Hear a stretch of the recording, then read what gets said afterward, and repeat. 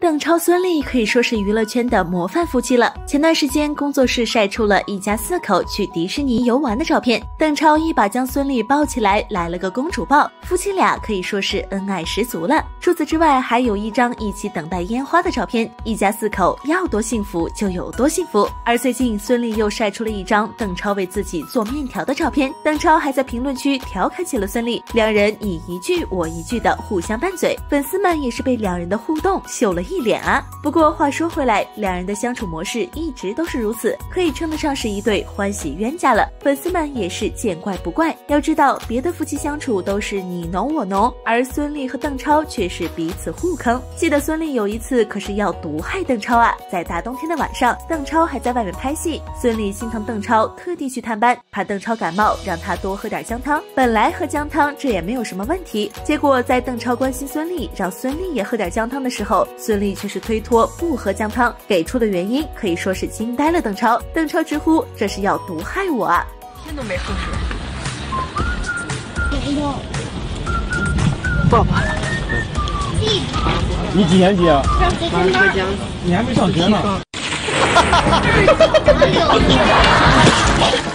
网友们调侃道：“怪不得孙俪娘娘最后能成为皇后呢，真是让人笑不活了。”而之后，邓超在参加《快乐大本营》时提起此事，也是让人哭笑不得。邓超在节目中恶狠狠地表示：“要不是自己把这件事情忘了，孙俪就遭殃了。”说的有模有样的，真是被邓超这奇怪的胜负欲逗笑了。不仅如此，两人在参加综艺的时候也是互相折磨。有一期，孙俪去参加跑男，和邓超成为了对手。本以为邓超会怜香惜玉，对孙俪。放水，结果却是对孙俪毫不留情啊！在撕名牌的时候，直接朝孙俪扑过去，势必要撕掉名牌。结果邓超完全是小看了孙俪，娘娘也是毫不留情，朝着邓超下死手。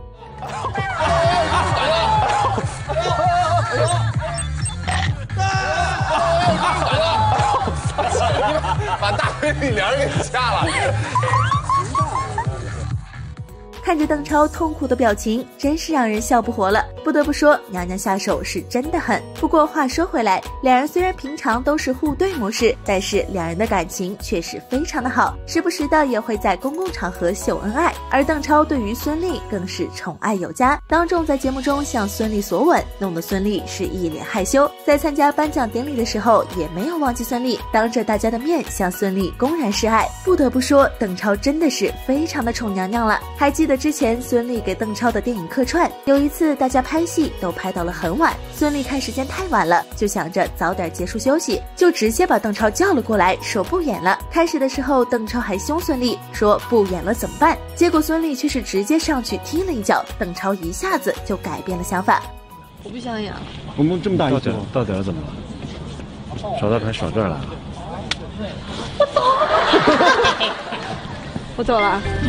啊，辛苦了大家。